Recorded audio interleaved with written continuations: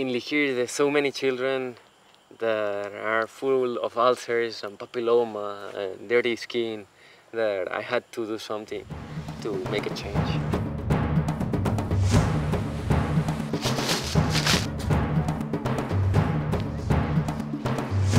Good morning.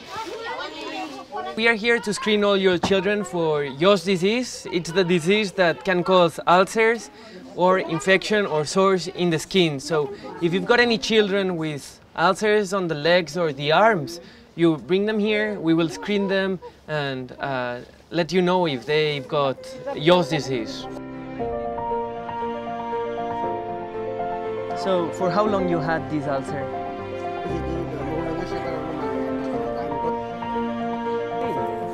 But when was that? It's multiple small excrescences, multiple papules as well. So just between sitting here. How are you? This is a typical primary ulcer uh, for yaws.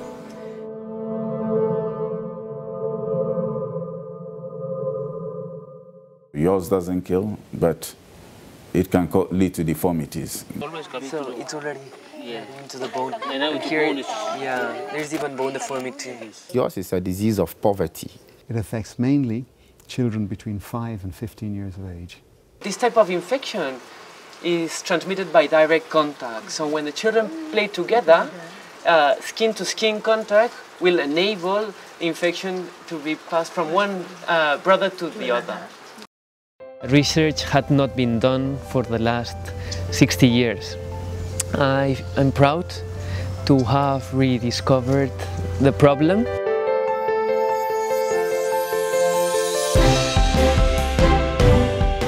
Changing something at a local level is changing the world in a way. And also, uh, our experience at a local level can be extrapolated to other areas and it can have an international impact. So, yeah, the effort of uh, my team, my efforts can make a difference. You happy? We are giving a good treatment for your children and you will have a healthy family. You want to have a healthy family? Okay. Uh, good plan, Mary. Good, Plameri. okay.